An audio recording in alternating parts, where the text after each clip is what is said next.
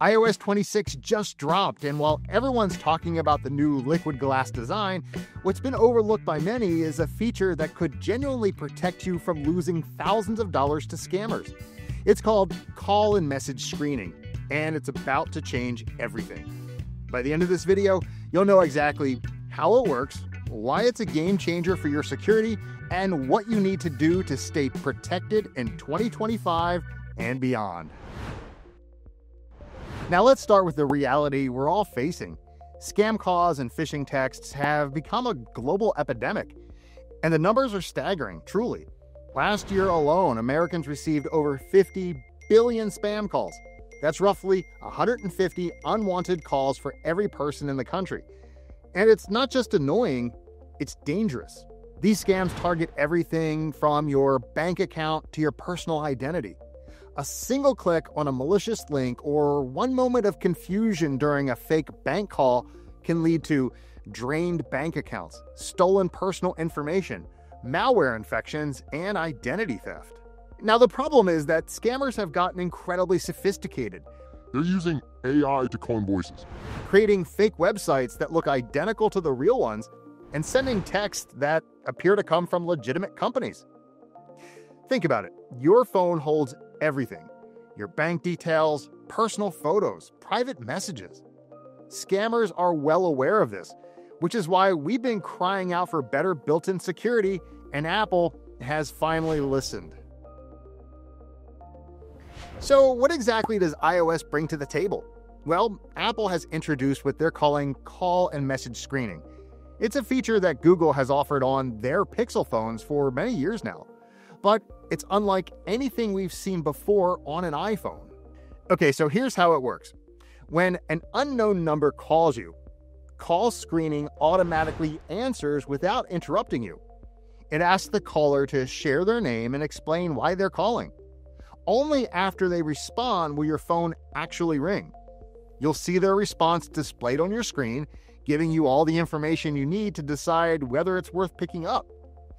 Think of it like having a personal receptionist built right into your iPhone. Someone who professionally screens every unknown caller and protects you from wasting time on scammers and robocalls. The message screening feature works pretty much the same way. Now, when you get text from unknown numbers, they won't clutter up your main inbox anymore. Instead, these messages are automatically sorted into a separate unknown senders or spam folder. Eh, this is particularly useful for blocking phishing attempts, fake delivery notifications, and messages containing malicious links. You can receive these filtered messages safely and decide what to do with each of them. Mark the sender as legitimate, ask for more information, or simply delete them. The key thing is that these messages stay completely silent until you actively choose to accept them. Now, you might be thinking, didn't iPhones already have some protection against unwanted calls? And you're completely right. But this is completely different from anything Apple has offered before. The old silence unknown callers feature was basically digital earplugs. It would send unknown calls straight to voicemail, but you had no way of knowing if that missed call was actually important. I mean, call screening represents a fundamental shift in how your iPhone handles unknown numbers. Instead of just blocking or silencing calls, your iPhone now actively gathers information from callers before interrupting you. This is huge because it solves the biggest problem with call blocking. You never knew what you were missing. Now, legitimate callers can still reach you by simply identifying themselves, while scammers and robocallers are effectively filtered out. Now, before we get too excited, let's be realistic about what this feature can and can't do. This screening technology is incredibly advanced, but it's not foolproof. Scammers are constantly evolving their tactics, and some sophisticated attempts might still get through. Just remember these four simple rules. Always verify unexpected calls by hanging up and calling back using official numbers. Never click links and messages from unknown senders. Be extra cautious with urgent requests for personal information. And when in doubt, check with the company directly through their official website or app. Think of iOS 26's screening feature as a strong first layer of defense, like having a security guard at the front door of your digital life. But you still need good security habits and tools to stay fully protected. Apple's new feature focuses on preventing initial contact, while tools like Certo Anti Spy can detect if scammers have managed to install spyware on your device. Together, they create a comprehensive security strategy.